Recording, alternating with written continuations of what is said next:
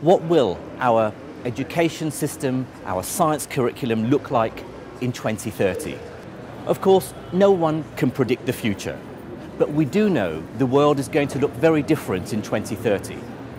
Climate change, population migration, the switch of the balance of economic power to Asia, and of course the transformative effects of technologies that we've yet to dream of. All these features, all these aspects are going to have a major impact on science education and how it's delivered. We need to ensure that we have a highly trained teaching workforce, teachers that can understand how not only will our curriculum in science change, but the means of delivering it are inevitably going to change dramatically beyond anything that we can imagine today.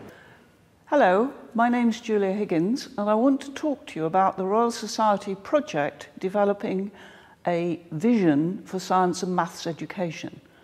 I'm Vice Chair of the steering committee of this project. When we're talking or writing about the Vision Project, I have three big ideas in my head. The first one is the wonder and excitement of science and mathematics.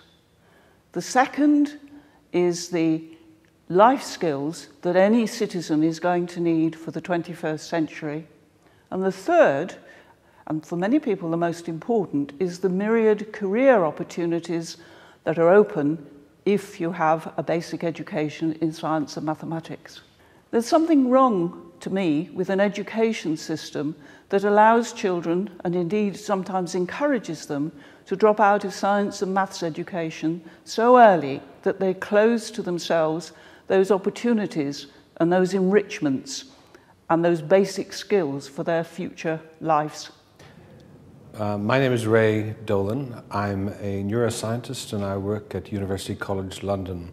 I think it is critical that citizens of the future are endowed with the appropriate tools to think correctly about the world, to think logically and systematically, and to appraise evidence.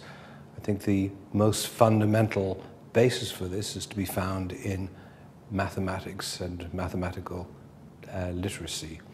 So I would like to be able to promote the idea that citizens in 20 years' time would be endowed with a, an ability in mathematics that is akin to their ability in literature, in sports, or in any other domain of learning. I'm Robert Winston. I work at Imperial College London. Um, amongst other things, I supervise a project which involves bringing children into the university to do practical work on a daily basis. In my view, if we really want to change our society, we have to invert the pyramid. At the moment, what we do is to invest vast sums of money, relatively speaking, into secondary education, and primary school education is very limited. If we're going to change our society, I think what we have to do is to really work on eight or nine year olds, because by the age of 10 or 11, we've lost children.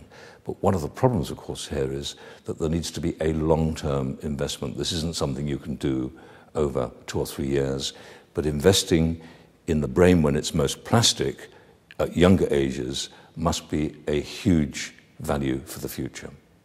My name's David Swinscoe. I've been teaching for science in England for about 30 years, um, mostly in the college sector, so I've taught mostly 16 to 18 year olds.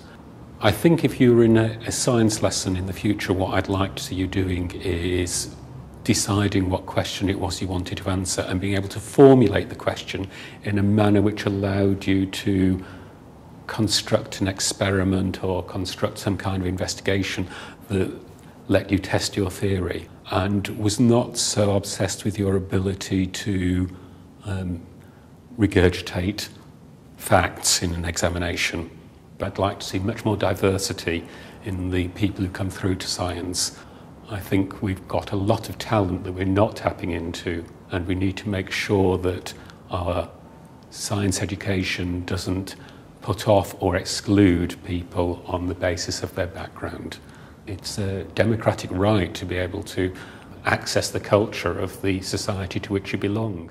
My name is David Phillips. I'm the immediate past president of the Royal Society of Chemistry, so I'm a chemist.